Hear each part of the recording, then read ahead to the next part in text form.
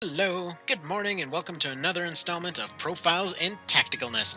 So today we will be talking about everyone's favorite and/or completely ignored healer class, uh, the cleric, aka the monk, aka the healer, aka the shaman. In one case, uh, it kind of depended which game you were actually playing. But all right, let's get into this thing. So first of all, uh, you may notice visually they're one of the classes that's actually stayed relatively almost consistent throughout the entire series. So, you know, good on them for that. I think the uh, Rune Fencer slash Valkyrie slash uh, Spellblade is probably the next runner up on that. Before you mention the Knight, that guy's actually gone through quite a fair bit of armor redesigns. But uh, speaking of their looks, if you look on the on the left uh, for the March of the Black Queen uh, battle sprite there, that right there is a, is a funny reference that actually came up in the PSP remake, believe it or not. Uh, not specifically that one. Actually, the, the one that got referenced is one that I couldn't find a picture of for whatever reason so here's an interesting note. When March of the Black Queen got remade as Ogre Battle Limited Edition for the PS1, uh, they decided to westernize the cleric. Uh, there weren't very many visual changes that they did, but for the cleric, they decided to replace their traditional ankh and or just regular staff uh, with a crucifix. Uh, so overall, they still did the same stuff. You know, for their frontline attack, they still shot out that weird sort of staff laser. For the backline, they still did the regular healing. But yeah, they decided to give them that crucifix instead. Now, what's funny is uh, when I was actually trying out uh, limited edition for the first time myself, I thought there were no differences. So when I first saw this sprite, uh, my, the first thing that came to mind was those statues in the Palace of the Dead in um, uh, the PSP remake of Let Us Cling Together. And uh, you may notice they're carrying a staff. They have a, they have a slightly different hat, and so you know I looked at that and I thought, oh wow, I never caught this reference the first time around. You know, I never played Ogre Battle up to that point, and I was very surprised. And then as soon as I went uh, trying to ask if anybody else noticed this, I was greeted with a response of, What are you talking about? They're not the same one. And that's when I noticed they actually used a different sprite in both versions. So, yes, the limited, version, limited edition version got referenced. For some reason, the original didn't. Who knows? But uh, they decided to westernize it. That's why they have that crucifix. Now, let's get on to how the class itself actually functions. So, starting off early on here, let's go ahead and uh, pull up some of this March of the Black Queen action. So, over here, uh, their their role was relatively simple. Uh, essentially, they are just somebody that heals from the back row. They're able to shoot a sort of staff laser from the front row, and uh, this is a little excerpt from the uh, uh from the fairy run here. So as you can see, they're just going to go ahead and run through all their attacks. Uh, this is actually the upgraded version, uh, the shaman. the main difference between them, the original healer only gets access to a single heal, whereas the upgraded version, aka the Shaman, in this case, ends up getting a Heal All ability, which will be Heal Plus. Uh, they'll actually just learn that spell naturally over time. So, only female units could become healers in this version, but uh, as you can see here, uh, they do a pretty good job of keeping everybody alive. They're also one of the very few classes that has a holy ability on them. So, for example, if you have them set to an AI that says to target the weakest units, uh, instead of healing their own guys, they will uh, use an exorcism on the opposite uh, on the opposite side, and that will essentially allow them to do a big AOE that will eliminate all zombies just completely at that point. So we can go ahead and uh, put away March of the Black Queen here for a moment. Now, that exorcism ability made them absolutely indispensable early on, and especially going into the mid game. Uh, later on, you did get more units that were able to do exorcisms, Actually, that's, this is going to be a running theme in almost all of the games, where early on their exorcism is absolutely indispensable, and then later on other units are just able to do their job a little bit better, uh, minus the healing part. We'll cover that when we get to it. So March of the Black Queen, OB64, that's their role. You know, they, they're the backline healer, frontline, very iffy attacker, and then um, uh, from the... Uh, from their targeting, how would I even put this? If you assign them to attack weak units, then they're able to do an exorcism. So things change a little bit uh, once we get to the SNES game, the first SNES game, I should say. Actually, the second one. What am I saying there? Uh, once we get to Let Us Cling Together. So, uh, with Let Us Cling Together, uh, suddenly uh, the shift actually went from female healers. Before it was the female units that got to be healers and shamans and got all their upgrades. But once we get to uh, to Let Us Cling Together, they decided no. Both guys can be healers, however, only the male units are able to upgrade into priests. So the main reason that you would want to go get a priest is they're able to do resurrection. Otherwise, your healers are pretty much basic healers, exactly as you'd expect there. Uh, the only exception was, I believe, Olivia could become one, and I believe Aurelius could become one. I could be wrong in that. However, um, yes, it, it, was mostly a uh, it was mostly male classes that you wanted to have as healers in that one. Uh, early on, exorcism was absolutely essential, and at that point, they were still uh, still operating under the assumption that if there's a zombie, whatever health they're at, exorcism will just completely annihilate them. I should probably have mentioned this for March of the Black Queen and OB64 as well, but basically, if any holy ability hits any undead in any of the first three games, they're just instantly vaporized, and that's it. So, you know, all good. It's all well and good there. They're pretty handy to have around. Uh, their stat gains aren't fantastic, but overall, you know, they're they're a very useful, relatively boring, but very useful class to have around.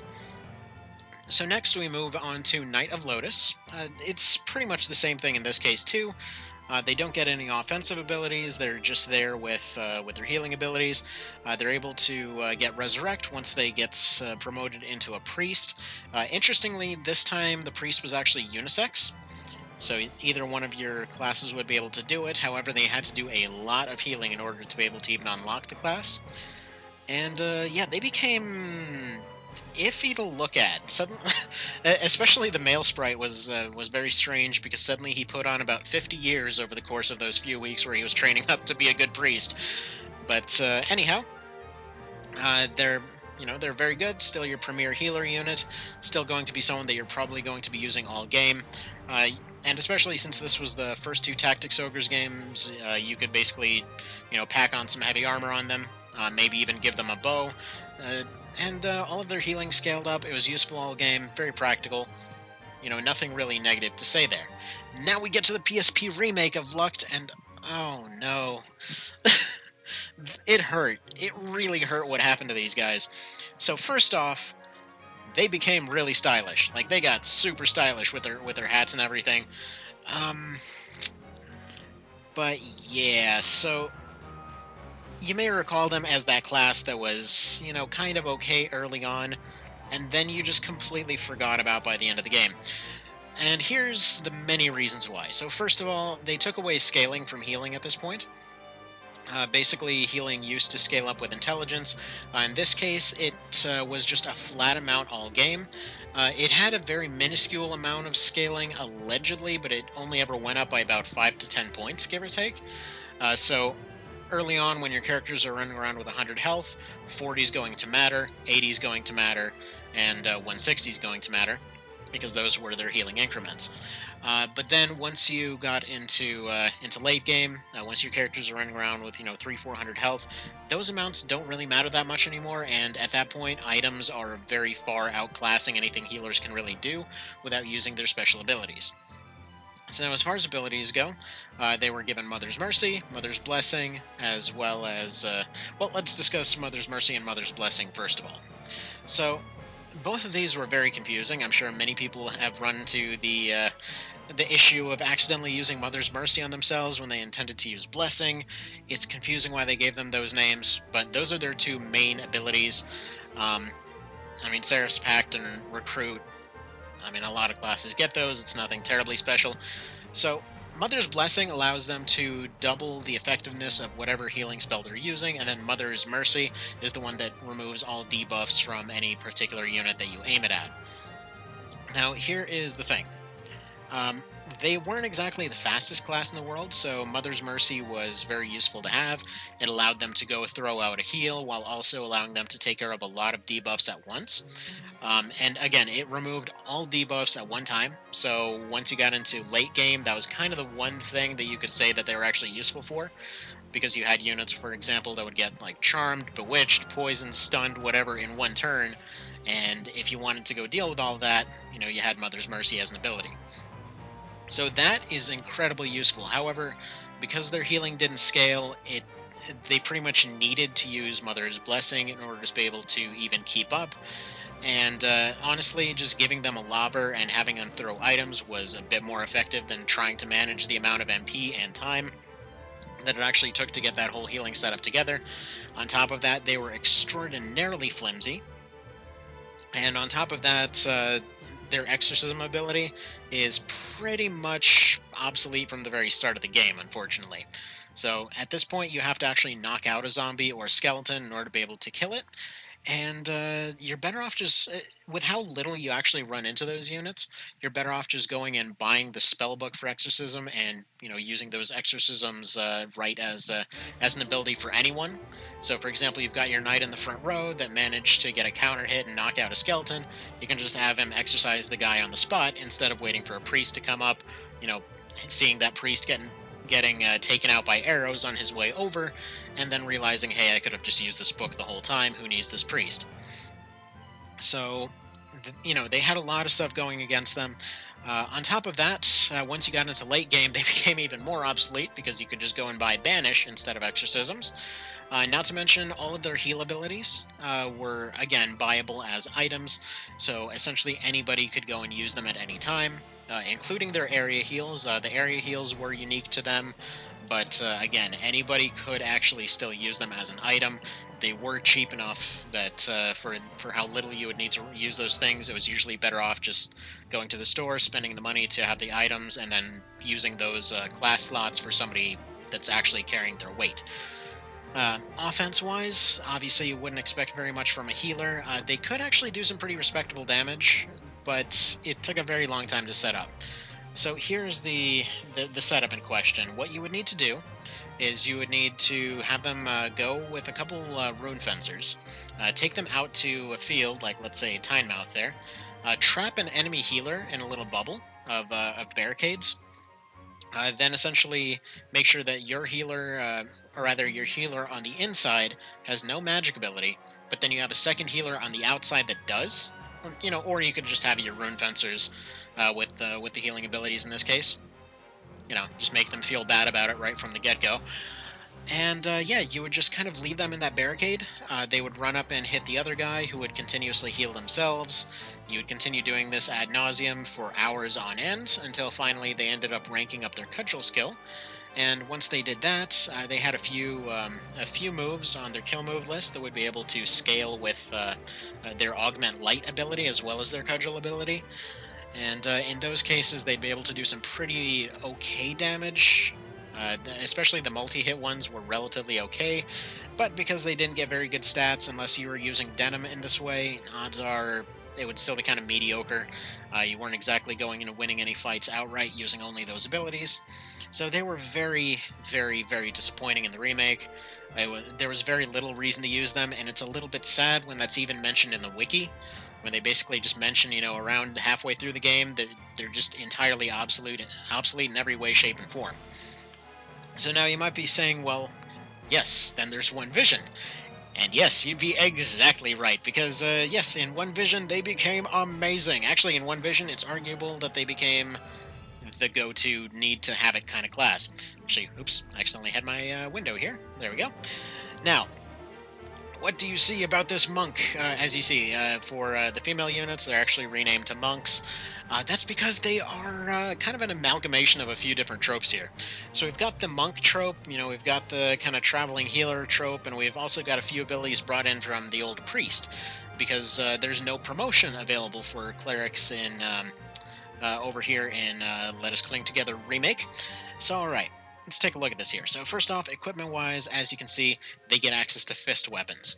Now, you might be saying to yourself, okay, but they don't exactly have the punching stats. Like, over on the right, you can see, you know, their dex and strength compared to everything else, they're a little bit on the low side. So, well, why would that matter? Why that matters is right here. You see this uh, this poison debuff? Yeah. So if we take a look at their skills right here, uh, bear in mind, all standard fist weapons have that uh, have that poison effect on them. So if we go down here, uh, we see counter hit. And what you want to do, as backwards as this may seem, you can put your healers right on the front line. And they're able to heal themselves very effectively, they're able to heal others very effectively, and they're able to do that job a lot better if they're not moving anywhere. So you may be saying, okay, you know, so they're able to poison and they're able to poison on a counterattack. You know, that's fine, but aren't they a healer? Aren't they flimsy? Well, as you can see, they gain access to uh, to light armors. They actually gain access to helmets as well. So, uh, looking at the different, uh, have a few different setups that uh, that we can go with here. This is my one of my personal favorites. Uh, normally, what I would do is actually do a fist weapon, a damage reflecting shield, a uh, vest armor, and a helmet. you can potentially do do uh, heavy, or rather, uh, heavy leg armor, um, a helmet, a seal of vigor, for example, and um, and a, a, medium shield, and it's just it's really, really, really good. So, okay, looking at their equipment here, as far as uh, shields are concerned, so we're gonna go here. So they get access to all light shields as well as what I like to call the medium shields. Essentially ones like this, some of the trickier ones. So like right here, they're able to do uh, able to get reflect uh, damage off of this shield. On top of that, they're able to get the reflect damage ability. So for example, this guy can sit on the front lines. Uh, he's relatively tanky. He can actually hit pretty decently with this hammer. On top of that, he can also stun. This guy can stun on a counter attack. Also handy. So he would be on the front lines, spreading out stuns. She would be out there spreading out poisons. Uh, they'd be spreading out some extra damage off of these uh, spiked and shard shields, which you get uh, around uh, midpoint around chapter 2, I believe. Um, and yeah, both of these allow them to spread around some extra damage from their respective uh, types. So they're able to spread out damage, they're able to spread out debuffs, they're able to heal their own guys, and they've got armors specifically designed to make them able to just withstand at least around until they're able to come back and heal themselves. Now you might be saying, well, what about those crappy healing abilities? What's changed there? Well, I'm glad you asked, because on top of all this great armor and uh, equipment that they get, uh, they actually scale their healing once again. So we'll uh, we'll show that in the fight in just a little bit here but they're able to. Uh, they actually get a secondary little heal on top of their standard one, uh, which was uh, Race's way to work around how the system had worked. It, basically, if it had gone for full intelligence scaling, it would have gone way too high. Uh, but if if it goes like this, where it has a set amount and then it scales a small amount on top of it, it allows it to scale up about the same as it did in previous games. Now, uh, all right. One thing I should mention right here as far as builds are concerned. We're going to take a step back to take another look at their equipment here because we'll get to the we'll get to the skills. But uh, look at this. So, I mean, light vest. I mentioned that uh, damage reflecting shield. Uh, this one reflects magic, and her poison fist. Okay, so she's got avoidance. She's got uh, damage output. She's got avoidance. And what's this right here? Well, it reduces. As you can see, this is the side-graded uh, mage helmet. Um, this is just a better variant of some of the ones out there. But if you side grade your mage hats, it allows them to basically tank their resistance to the point where they'll end up getting targeted by mages all the time, but they'll end up absorbing uh, MP from it.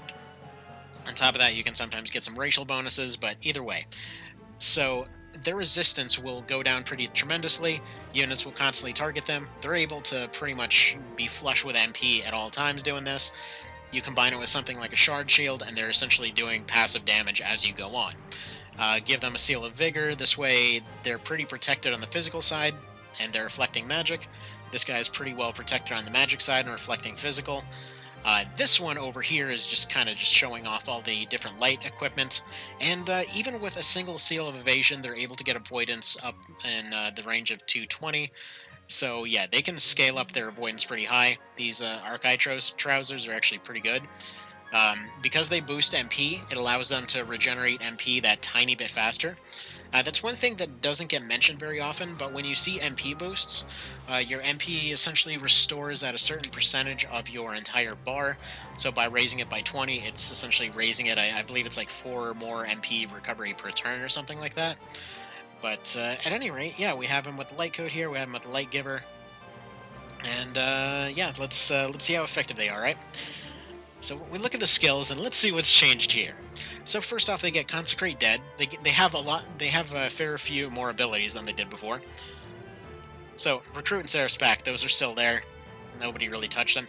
So Consecrate, this used to be a Necromancer ability, but it definitely makes a lot more sense uh, when it comes to healers. So they can just pick a zombie or a skeleton and just make them go back to sleep, uh, make them uh, completely unable to revive. It's got a range in an area of five, so it's got some pretty significant range on it. If you have them in the front line, there's some skeletons you can't exactly uh, spare the time to go exorcise yet. You'll just drop a consecrate on them, have them do whatever else they need to do, get back to exorcising them another time. Mother's Blessing, this is the same as it was, uh, essentially allowing you to go and double the effectiveness of your next healing ability. However, as you can see, it's a little bit faster to use. Uh, Tabula Rasa, uh, over here, this is what used to be Mother's Mercy. Uh, this was changed due to the general confusingness of having two separate moves that started with Mother's. Um, so yeah, instead of uh, Mother's Blessing and Mother's Mercy, it's now Tabula Rasa. Um, essentially same thing. I believe this has a little bit more range on it, though. Uh, we've got Reflect Damage and Absorb MP on them. Uh, Tactician to be able to use their abilities a bit more. Uh, max TP up, although I personally don't see a whole lot of use for max TP up unless you're going for a more offensive build with them, uh, with hammers and some such. Um, Field Alchemy 2, uh, so they have access to pretty pretty much every item as well. Actually, not pretty much every item, literally every item. Sanctuary 1 and 2, in case you want to stop some zombies from getting close. I only have these on Donnalto at the moment, uh, due to the fact that he's able to... Uh, he's the only one that doesn't really have a good uh, good frontlining setup. Um, normally, the way um, the way that this goes, they have... You're going to want to have a lot of other abilities, since their main abilities are basically going to take three slots now. You don't need to, to go and pile up your entire skill bar in order to even use them. So Clarity 4 over here uh, just raises MP restoration. Um, I like to have that on Olius here, despite the fact that she's essentially absorbing MP all the time anyway. Uh, just kind of have her for going and dumping out those expensive abilities. Um, Mother's Blessing, Augment Lights, uh, Counter Hits, and just a pretty good setup there. Um, for Elrig here, I have him with um, uh, what's it here? Uh, didn't mean to have, what was it? Didn't mean to have Thanatology on him. I actually meant to have Instill Light on him. So he's going for a more offensive setup, so he's got Tabula Rasa to get rid of debuffs, Clarity for the sake of boosting his MP, uh, Instill Light, since they're able to get Instill abilities now, uh, Augment Light to improve that even farther, uh, Mother's Blessing, counter hits, uh, so you get some stuns occasionally, as well as a parry. Uh, you can give them light shields, so if you give them light shields plus uh, helmets, they're able to parry very effectively. In fact, now let's uh, go ahead and show that off right here. So he's getting parry from this helmet. If I were to give him this uh, shield down here, like let's go go ahead and show this. So if I give him a, like a Damask shield, for example, instead of reflecting damage, like he already has reflect damage built in. Um, giving both the Spike Shield and the Innate ability allows you to reflect 40% damage. In this case, he's going down to 20% reflection, but he's getting uh, rank 3 parry just straight out the gate. Uh, he's never trained parry before, and he's already up to 3 now. That is something that used to be complete endgame material for the original game. Like, not even endgame, like post-post game type of stuff to get to the point of getting innate plus 3 parry. So right there, you know, you're getting it uh, pretty early on with... Um, pretty much as soon as you get gain access to helmets, actually. So right around chapter two. And uh, yeah, the last one here, you know, relatively similar setup. Still has all his main abilities. He's got um, I apologize here. We're apparently going through a lot of menus. So he's got Reflect, he's got Augment, you know, the usual kind of things you'd expect. So let's get into the fight here. Uh, this time I actually didn't make an entire party of them. I set them all to AI, and I went ahead and did it this way in order to show just how effective they can be. So it's uh, anytime that I bring this up, people seem to doubt when I was telling them that uh, clerics are easily one of the best and most uh, needed classes in the game right now. And uh, again, this is with the One Vision mod, uh, it's essentially a, a I would call it almost like a remaster of a remaster because, for all intents and purposes, it took uh, it it took the game as it already was and just made everything as it should as it logically should have been so in this case, healers uh, throughout the entire story, healers are constantly propped up as you know, like these guys are amazing. They're these pillars of the community. They're these guys that always hold up armies and everything else. And that's why throughout the series, that was their role. Like they, they were this guy that or guy or girl or whatever else that they were relatively unassuming. You know, they weren't exactly you know hugely powerful or anything, but an entire army could you know could go and continue living well past the point that they should be able to just because of this you know one or two units that were in that squad. So when they when in the remake they basically just decided to nerf them straight into the ground it was a little bit disappointing and it seems like uh, rakes uh, shared that opinion because uh, he you know essentially made them what i like to consider the lock of many many of the teams. So if you remember like, let's say if you remember March of the Black Queen or you remember Knight of Lodis, uh, there were lots of those moments where it's like, okay, you know, that team has a healer. I'm probably not going to be able to make much progress without taking out that healer first. So they're all going around, you know, trying to position their units to go prevent you from running to the healer. You're trying to sneak some guys around to go take them out and everything else. And that they're back to that role now. So you'll find in many cases your your front line will meet their front line, and you're going to have uh, you're going to have your ninjas trying to sneak around to try to stun them or silence them. You're going to have rogues going in trying to assassinate them, that sort of thing, and like you're constantly going to be planning around how to get uh, go and like get to that healer. Like how do I prevent them from taking their next turn? Because as you'll see here, once these guys start taking damage, like the amount of healing they do is pretty amazing. Um, Actually, this party is uh, a little bit OP at the moment. Maybe I should have sent less guys in. But, uh, but yeah, once they start taking damage, we'll see. Uh, since again, they can, by and large, for every phase of the game where they have abilities, they're usually going to be able to go and completely heal up any unit that they end up touching. Um, with exception to their area heals, which are usually going to be about 50-75% of the uh, unit's health, it's going to vary, of course, but uh, generally speaking, that's what I always ended up seeing as far as they went. When uh, when they say in the description you, you should keep one in every party, they now mean it. So like right there, heal 3 does 178, plus it does another 60 to 80 on top of that. That's what that second zero was there. It would have been about a 60 or 80. So if you're talking a... Um, if they used a Mother's Blessing on it, they essentially would have been doing around 340 with another 140 or so on top of that. So it's like it's strong. They're very very strong. Easily one of those ones that you're going to want to have in your party all game. So they're no longer that sort of joke that you casually threw in the dumpster about halfway through. They're now somebody that's actually worth keeping. And by worth keeping, I mean they're going to be the dang friggin' heroes of your party in a lot of cases. Uh, so it should be reiterated, uh, Rune Fencers and Knights, uh, which used to serve the main frontline healer role from before, uh, that's not the case anymore. and now with uh, One Vision, you're going to have your healers doing the actual healing, whereas uh, Knights, for example, can give regen, Rune Fencers are able to give an accuracy buff, uh, on top of, of a few other buffs that they ended up getting. So these guys are your dedicated healer. Uh, the only other ones that are actually able to use the healing abilities they do are uh, the Familiar and the Angel Knight, uh, so both of those are going to be a little bit different to use. On top of that, it should be noted that since uh, books and scrolls and all that are no longer available um, as just items. You actually have to learn the ability in order to use it.